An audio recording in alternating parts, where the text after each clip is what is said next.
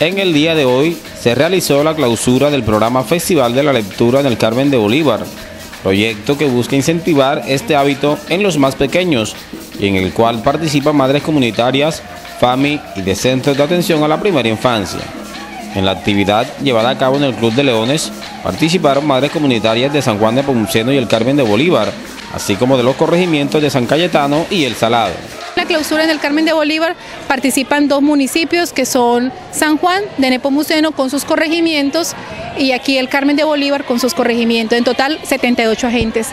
En este pequeño pero significativo evento también hubo espacio para mostrar todo el trabajo que estas mujeres vienen realizando a lo largo del año y que hoy ven consolidado con unos niños más dinámicos y abiertos a la sociedad, con lo cual también pretenden que en un futuro sean mejores personas. Bueno, la fiesta de la lectura es una estrategia del Instituto Colombiano de Bienestar Familiar que este año además está en asocio con el Ministerio de Cultura con Leer es mi cuento.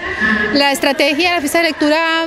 promueve la promoción de lectura en la primera infancia a través de los lenguajes de expresión artística. Está dirigido a las madres de hogares tradicionales, agentes educativos de CDI, las madres FAMI, para que ellas que tienen los niños de 0 hasta los 5 años promuevan la lectura y podamos tener la formación de sujetos críticos a través de ella.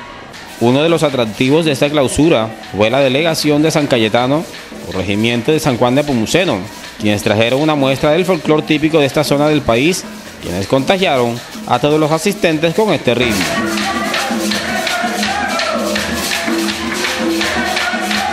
El Festival de la Lectura, un importante programa que invita a los más pequeños a tener amor por las letras a temprana edad. Desde el Carmen de Bolívar, con la cámara de Leonardo Vázquez, informó para Noticias Telemontes de María Luis Alberto Mercado.